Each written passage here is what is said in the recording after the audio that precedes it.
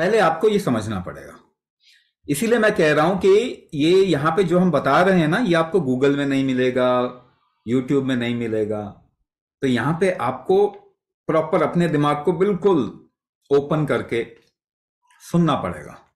तब जाके आपको समझ में आएगा। जेनेटिक चेंज कैसे होता है? ये अगर आपको समझ में आ जाए तो आपको पता चल जाएगा कि क्रोमोसोमल डिफेक्ट को ठीक कैसे कर सकते हैं। क्रोमोसोमल डिफेक्ट को ठीक कैसे कर ठीक है? तो इतनी बात दोनों को कोरिलेट करिए। जेनेटिक्स को बदला कैसे जाता है, अगर आपको ये समझ में आ जाए तो आप जेनेटिक्स को बदल सकते हैं। ठीक है ना? अगर ये समझ में आ जाए तो। तो क्रोमोसोमल डिफेक्ट को आप चेंज कर सकते हैं। अच्छा डार्विन क्या कहता है कि एक जेबरा जिराफ बन गया? डार्विन क्या कहता है कि एक जेबरा जिराफ बन गया? उसकी गर्दन छोटी थी, मगर उसने ऊपर के पत्ते खाने चाहे तो गर्दन लंबी हो गई, जिराफ बन गया, उसका जेनेटिक्स चेंज हो गया। टाइम के साथ जेनेटिक्स चेंज होता। ऐसा डार्विन कहता है, मगर हज़ारों सालों से हमारे देश में कर्म नियम प्रधानता है। कहते हैं, आप जितना ज़ोर लगाएँगे ना, उसके जैसा ज़ोर लगाएँगे, उसके हिसाब से जेनेटिक बदल जाएगा।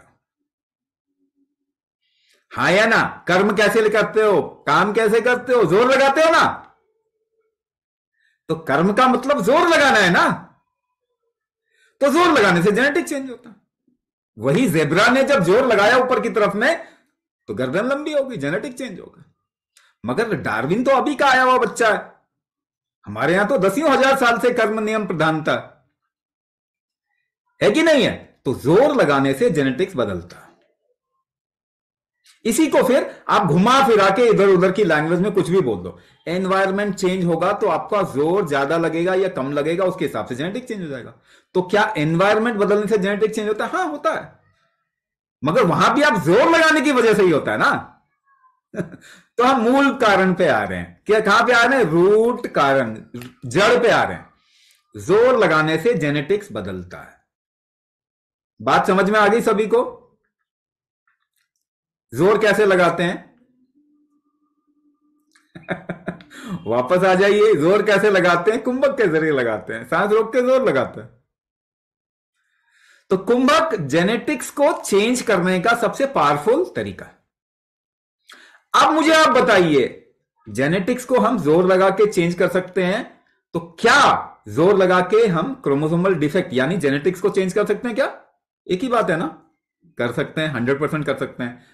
अच्छा मॉडर्न साइंस भी इस बात को अब मानता है। मॉडर्न साइंस भी इस बात को अब मान, पहले नहीं मानते थे, क्योंकि मॉडर्न साइंस का कोई भरोसा नहीं है। पाँच साल में कुछ अपनी बातें बदल देते हैं। है ना? एक इंसान हर थोड़ी थोड़ी देर में अपनी बात बदल रहा हो तो वो भरोसेमंद होता है क्या? नहीं होता। मगर साइंस हर दो साल, तीन साल, पाँच साल में अपनी बात बदल देता। तो अभी साइंस को और ग्रो अप करना है। रियल साइंस अभी सूडो साइंस है। अभी सही के साइंस में आना है उसको। तो अभी मॉडर्न साइंस क्या कहता है? और इसको मैं, पता है क्या बोलता हूँ? कहते साइंस को घर वापसी करनी है। ठीक है ना? असली साइंस में आना है। तो अब जब मॉडर्न साइंस ये कह रहा है कि 99 percent of your genetics can be changed and this is called as epigenetics E P I epigenetics ये आप गूगल करके पढ़ सकते हैं। मगर उनको अभी मालूम नहीं है कि जेनेटिक्स को हम चेंज कैसे कर सकते हैं। तो वो जेनेटिक इंजीनियरिंग ज़बरदस्ती जेनेटिक्स को चेंज करने की कोशिश में लगे हुए हैं। ठीक है ना? वो दोबारा से गलत हो जाएगा, वो दोबारा से गलत हो जाएगा। अभी हमने फ़ूड को चेंज कर दिया हाइब्रिड जेनेटिकली मॉडिफाइड बना दिया, हमारा शरीर इस वजह से ठीक नहीं रह पा रहा। One reason for infertility is you are eating chemical medicine and then second the food changed food sorry ये वी करने से ना बलून उड़ने लग जाते हैं इसमें तो तो क्या जेनेटिक्स चेंज हो सकता है इसे एपिजेनेटिक कहते हैं जो जेनेटिक इंजीनियरिंग अभी मॉडर्न साइंस कर रहा है it's a force change in the nature forced change प्रकृति में ज़ोर ज़बरदस्ती का चेंज हमेशा नुकसान लाता है। नेचुरल चेंज हमेशा फ़ायदा करता है। तो कुंभक एक नेचुरल तरीका है जेनेटिक्स को चेंज करने का। यानी एपीजेनेटिक ट्रिगर मैं कहता हूँ कुंभक को। कुंभक का दूसरा नाम क्या है? एपीजेनेटिक ट्रिगर ये वो ट्रिगर है जिससे कि आपका क्रोमोसोमल डिफेक्ट बिल्कुल ठीक हो सकता है। और कोई तरीका है? कोई और तरीका नहीं है। कोई, क्योंकि यही हज़ारों सालों से हम बोल रहे हैं। कर्म नियम। कर्म का नियम है।